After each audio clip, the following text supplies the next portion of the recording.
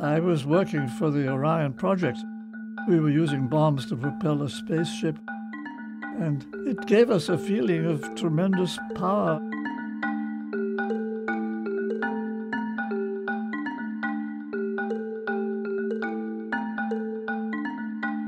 There's something very seductive about the power in your hands or in your mind that you can do something on a sort of cosmic scale. It goes very much to people's heads. It was intoxicating. I remember very well the day that happened. I was heart and soul for bombs. I was working with bombs every day and imagining great spaceships driven by bombs going all over the universe.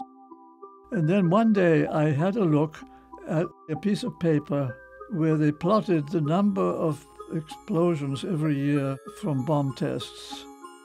And the logic was very simple that every time you exploded a bomb for some experiment, you had two new questions to answer. So the next time you needed two experiments and two bombs. And then the next time after that, you'd need four bombs to answer the questions. So it would just multiply forever like that.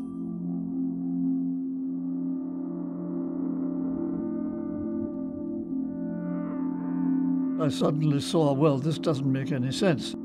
Like St. Paul, I was converted in, in one moment.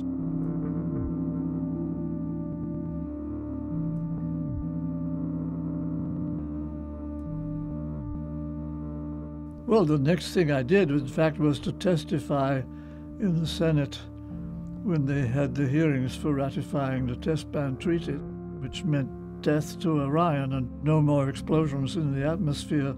I switched to 180 degrees, and, and I'm very happy that I did. There are all kinds of horrible things that can happen. Sort of just by the grace of God, they didn't happen yet. Nuclear war would destroy a large part of civilization, and it takes a long time to recover, if ever. I would say there's nothing else that even comes close to being that bad.